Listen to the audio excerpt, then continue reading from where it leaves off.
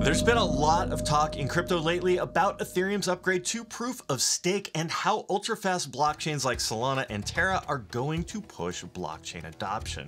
Now, that's all fine and good, but this week all we care about is Bitcoin and how the Taproot upgrade is going to make the world's most popular cryptocurrency even better. Thanks for tuning in. I'm your host, Chris Merkel, and this is Exodus Crypto News. Now, before we dig into the Taproot activation, we have JP Richardson, CEO and co founder of Exodus. JP, we have our Q3 earnings call coming up. Can you give us a sneak preview of what we're going to hear on the call? Yeah, absolutely, Chris. As the first US company to have our common stock digitally represented on the blockchain, we are excited to share our growth in numbers with you. In addition to that, we're going to share how we're going to take over the world. I'll give you a little hint it's going to be related to NFTs and DeFi. Oh, that sounds really exciting. If you would like to tune in to view the webinar, click the link in the description. Thanks for joining us, JP. Thank you. The Taproot upgrade went live on Sunday night when F2 Pool, one of the biggest mining pools, mined block 709,632. Taproot is a soft fork update to Bitcoin and the first major upgrade to go live on the network since 2017.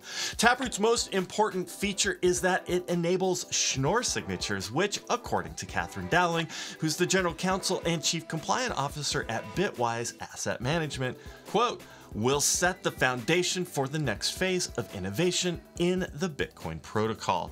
Now, without getting too technical, Schnorr signatures offer three benefits that are going to improve the Bitcoin network. First off, Taproot is going to enable smart contracts, which is a feature we've never had before. Now, Bitcoin won't be able to support the ultra complex smart contracts like what's on Ethereum or Solana. However, it's still going to be a vast improvement over anything that Bitcoin has had had in the past. The second improvement has to do with privacy. Schnorr signatures aggregate transactions so that they all end up looking the same. For example, Taproot will make multi-signature payments indistinguishable from regular transactions.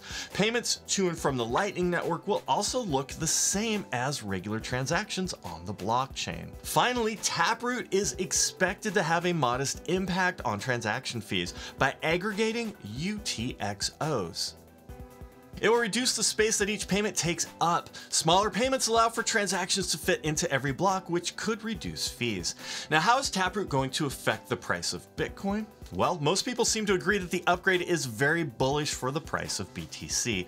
Benjamin Cowen is saying that 100,000 BTC is inevitable. The Crypto Sniper believes $85,000 is easily within range, and Crypto Birb still thinks that Bitcoin will get well into the six figures before the end of the year.